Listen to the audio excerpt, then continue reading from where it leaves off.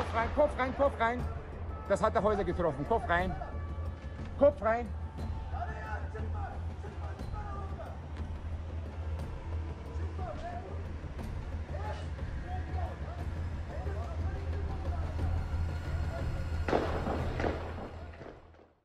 Wo wir unser Auto einparken wollten, äh, haben wir Schüsse gehört beim Laderestaurant beim Schwedenplatz und da habe ich gesehen, wie eine Dame von einem Kugel betroffen worden ist.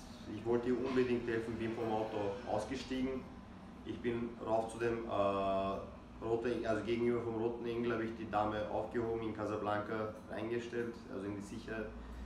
Wo ich mich umgedreht habe, sozusagen, habe ich, also bin ich mit dem Täter Auge zu Auge gekommen. Es war ca. 4 bis 5 Meter Abstand zwischen uns.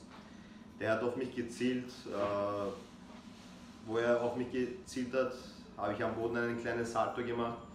Und dann habe ich einen Zickzack, habe ich begonnen Zickzack zu laufen und dabei hat er äh, geschossen. Ein ganz kleiner von dem Schrottfilterwaffe äh, hat den ganz kleine Kugel hat meinen Fuß getroffen, habe das an dem Tat nicht bemerkt. Nachher sind wir wieder zurückgelaufen, wie man das auch auf dem Video sieht beim U-Bahn.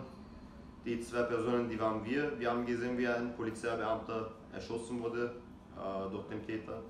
In dem Zeitpunkt hat jeder irgendwie einen Schock drauf, also Schock bekommen und da habe ich dem Freund Michael Lützen gesagt, Michael, egal was, wir, es, egal was passiert, wir müssen den Polizeibeamten dort rausnehmen. Äh, sind hingelaufen, haben, haben den Polizei aufgehoben. Ich habe bei seinem Rücken äh, festgehalten, mein Freund hat bei seinen Füßen festgehalten, dann haben wir ihn zum Rettungswagen reingetragen.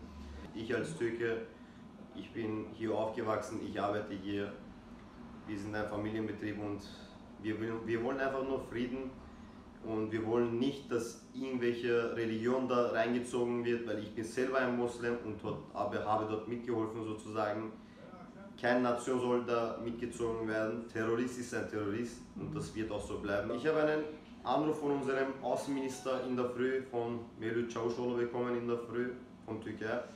Ich gebe meinen großen Dank an ihn. Er hat mich angerufen, er hat nach meiner Gesundheit gefragt. Wir müssen sehr stark zusammenhalten, egal ob das jetzt Türken, ob das jetzt äh, andere Nationen betrifft.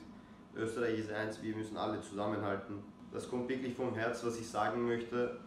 Bitte tut nicht alle in einen Topf reinwerfen.